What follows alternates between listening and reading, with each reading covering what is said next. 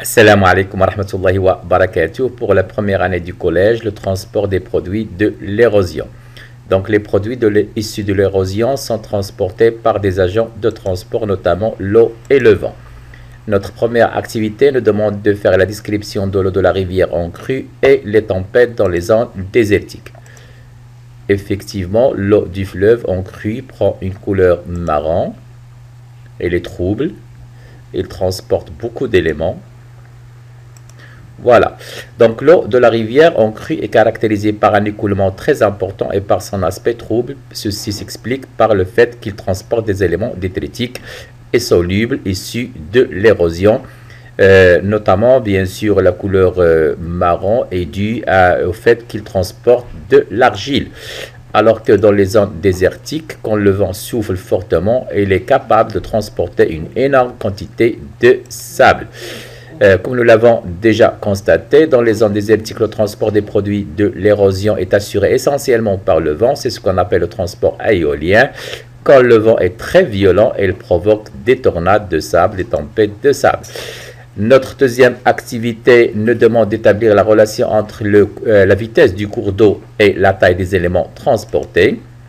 Donc, quand la vitesse du cours d'eau est, euh, est élevée, est importante, on constate qu'il est capable de transporter tous les éléments, les éléments de grande taille, de taille moyenne et de petite taille. Alors que,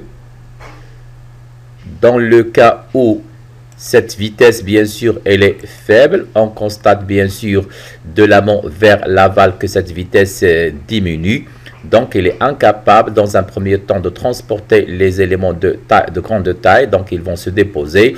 Dans un deuxième temps, bien sûr, on voit très bien qu'il est incapable de transporter les éléments de taille moyenne. Donc, ils vont se sédimenter. Et enfin, bien sûr, vers l'aval, sa vitesse s'affaiblit. Donc, il est incapable aussi, à ce niveau-là, de euh, transporter les éléments de, de petite taille. Euh, donc, ce qui va entraîner un dépôt de ces éléments. On obtient, comme vous le constatez, un classement des éléments, bien sûr, selon leur taille. On parle de grand classement horizontal, bien sûr, de, de, grande taille, de taille moyenne et des petites tailles.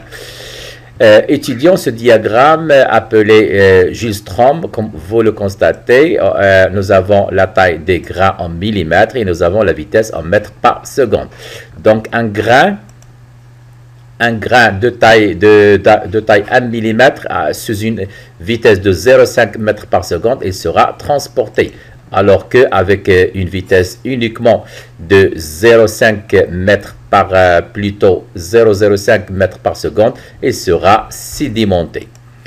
Le transport des différents éléments dépend de la taille des particules et de la force du courant, la vitesse du cours d'eau. Plus la vitesse du coulement de l'eau est importante, donc, bien sûr, plus que les éléments seront transportés plus loin. Notre troisième activité nous demande de faire la description du mode de transport des différents éléments détritiques par un cours d'eau. Comme vous allez le constater, nous avons les éléments de grande taille, ils peuvent se déplacer par glissement ou par euh, roulement, comme vous le constatez. Voilà. Alors que les éléments de taille moyenne, euh, ils vont se déplacer et ils seront transportés par des sauts ce qu'on appelle par saltation. Effectivement, on va le voir. Voilà, par saltation des sauts. Et enfin, les éléments de petite taille, ils seront transportés en suspension comme on vous le constatez. Voilà. Il existe aussi un autre mode de transport, ce sont les éléments solubles dans l'eau. Donc, ils seront transportés sous forme de soute. Effectivement, les éléments détritiques peuvent être transportés de plusieurs modes de transport en fonction de leur taille. Donc, 1, c'est bien sûr euh, en suspension. 2, sous forme de soute. 3, par saltation, comme nous l'avons déjà dit. 4, par roulement. Et 5, par glissement. De même, pour le transport, les modes de transport, euh, cette fois-ci par le vent, on voit très bien qu'il existe trois modes de transport. En suspension, si les grains de sable ont une taille inférieure à 0,05 mm.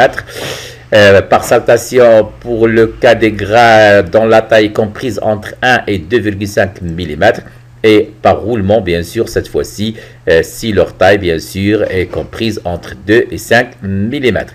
Un, exercice simple, donc le document ci-dessous représente le devenir d'un grain de sable dans une rivière selon son diamètre et la vitesse du cours d'eau. petit 1, d'écrire la question, d'écrire ce qui arrive à un grain de sable de diamètre 0,0333 mm avec une vitesse sous une vitesse de 100 cm par seconde, avec un cours d'eau de 10 cm par seconde et enfin euh, la vitesse de 1 cm par seconde. La question 2, que peut-on déduire? Tout simplement, bien sûr, notre grain de sable de 0,33 mm avec une vitesse de 100, il sera euh, bien sûr, il va subir une érosion. Avec une vitesse de 10 cm par seconde, il va, il va subir un transport. Et bien sûr, avec une vitesse de 1 cm par seconde, il sera bien sûr sédimenté. Effectivement, comme nous l'avons déjà dit, voilà. Merci.